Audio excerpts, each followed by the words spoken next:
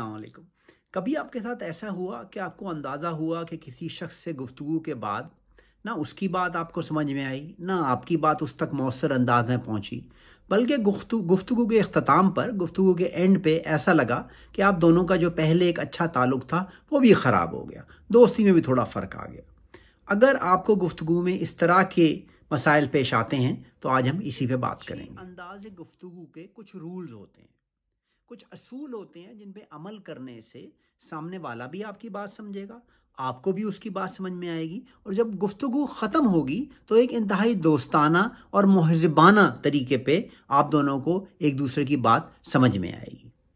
ये असूल क्या हैं? आज हम इन असूलों को वन बाय वन इनका इनका जायज़ा लेंगे।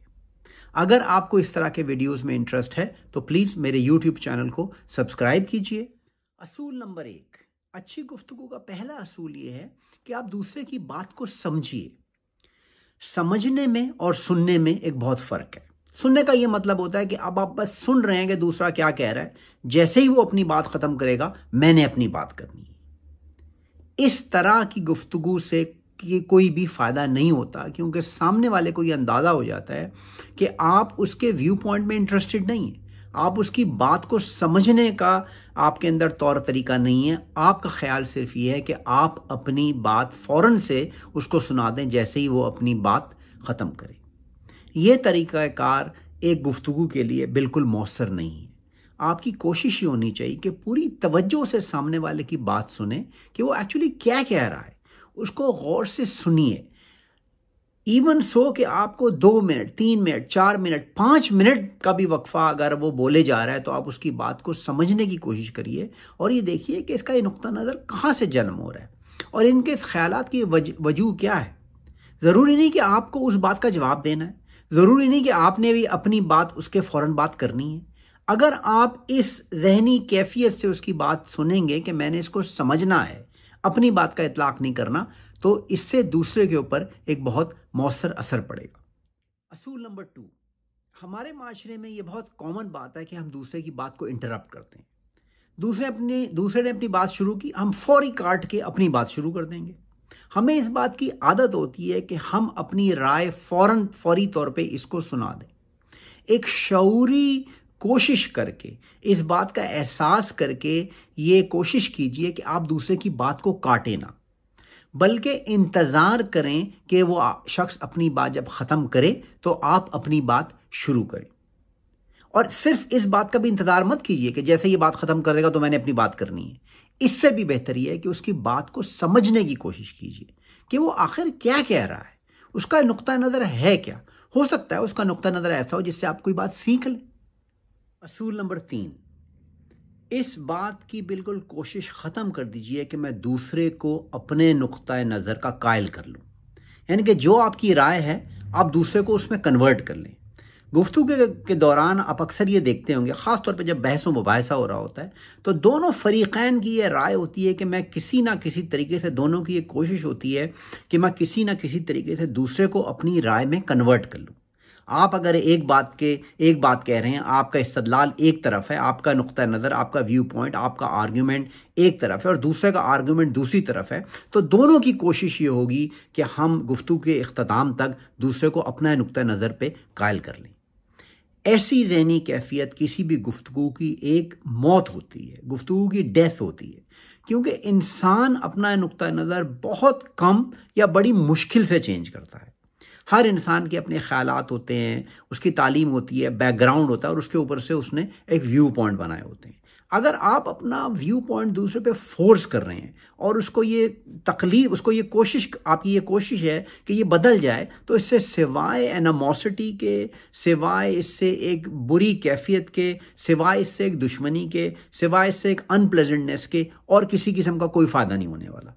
आप अपनी राय ज़रूर पेश कीजिए। मगर दूसरे को उसमें चेंज करने की कोशिश मत कीजिए। अगर दूसरा आपसे कहता है कि जी, मैं इस चीज़ में बिलीव करता हूँ या मेरा इस चीज़ में अकीदा है तो आप कहें कि ठीक है, बहुत अच्छी बात है ये, मगर मेरा अकीदा थोड़ी सी मुख्तलिफ़ है और मैं इसको इस चीज़ से कंपेयर करता हूँ या मैं इस चीज़ में बिलीव करता हूँ। अब अगर दूसरा आपसे बहस मुबासा करना चाहता है और आपसे कहता है कि जी, आप क्यों ऐसा करते हैं या आप तो गलत हैं तो इसका बेहतरीन तरीका ये है कि आप उस गुफ्तु को उस ई पॉइंट पे ख़त्म कर दीजिए। और इस बात का अंदाज़ा कर लीजिए कि बहस से या उसको ये समझाने से कि आप क्यों ठीक हैं या आप क्यों गलत हैं कोई फ़ायदा नहीं होने वाला क्योंकि ना वो अपना पॉइंट ऑफ़ व्यू चेंज करेगा और ना आप, आप अपना पॉइंट ऑफ़ व्यू चेंज करेंगे। असूल नंबर चार। जिस शख्स से भी आप गुफ्तगु कर रहे हैं उसको अपने से कमतर मत समझिए। गुफ्तगु में बहस मुबासे में अक्सर इस बात से भी बहुत झगड़े हो जाते हैं कि आपके अंदर तकबर होता है एरोगेंस होती है। आप समझते हैं कि मैं सामने वाले के मुकाबले में ज़्यादा मेरी मालूम है। मैं ज़्यादा नॉलेजेबल हूँ, मैं ज़्यादा पढ़ा लिखा हूँ, मेरे पास ज़्यादा पैसे हैं, मेरे पास बड़ी गाड़ी है, मैं दुनिया घूमा हुआ हूँ, मैंने बहुत सारे मुल्क देखे हुए हैं। इसीलिए मुझे सामने वाले से ज़रूर ज़्यादा पता होगा। जैसे ही आपके जहन में तकबर आता है, ये तकबर आपके अल्फाज में और आपके लहजे में झलकने लगता है। सामने वाले को फ़ौर पता चल जाता है कि आप उसको नीचा समझते हैं। हो सकता है वो गुफ्तु के दौरान चुप हो जाए डर के खौफ से। आपकी आ, आपकी जो फाइनेंशियल या एजुकेशनल पोजीशन है लेकिन अंदर से वो कभी भी आपकी इज़्ज़त नहीं करेगा। क्योंकि उसको जब इस बात का अंदाज़ा हो जाएगा कि आप एक तकबर की जगह से बोल रहे हैं तो उसके जहन से आपकी इज़्ज़त ख़त्म हो जाएगी। असूल नंबर पाँच। हम लोगों की एक बहुत बुरी आदत होती है कि गुफ्तु के दौरान ख़ास तौर पर बहसों मुबासों के दौरान हमारी आवाज़ ऊँची हो जाती है। हम जज्बाती हो जाते हैं। हम चीखने लगते हैं। अक्सर लोग गालियाँ निकालने लगते हैं। उनकी लैंग्वेज प्रोफेन हो जाती है। वो बदतमीज़ी पे उतर आते हैं। ये सब चीज़ें शाइस्तगी के प्रिंसिपल के ख़िलाफ़ हैं। जैसे ही आपकी आवाज़ ऊँची होगी, आप चीखने लगेंगे, आप बदतमीज़ी करेंगे, दूसरा फ़ौर आपके लिए रिस्पेक्ट लूज़ कर देगा।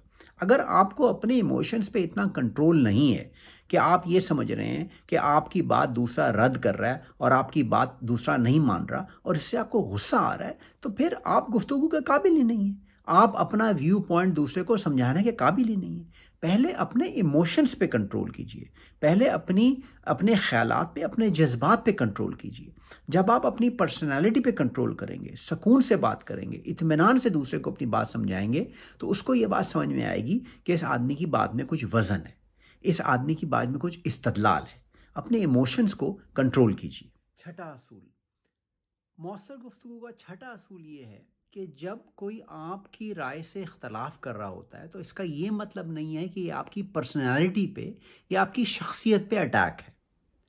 इख्तलाफ राय को पर्सनली मत लें। ये मत सोचने लग जाएँ कि चूँकि ये शख्स मुझसे इख्तलाफ राय कर रहा है तो मेरी शख्सियत में कोई कमी आ जाएगी, कमी हो जाएगी, मेरी बेजती हो जाएगी, मैं कमतर शुमार होने लगूँगा। लोग सोचेंगे कि मेरी नॉलेज नहीं है।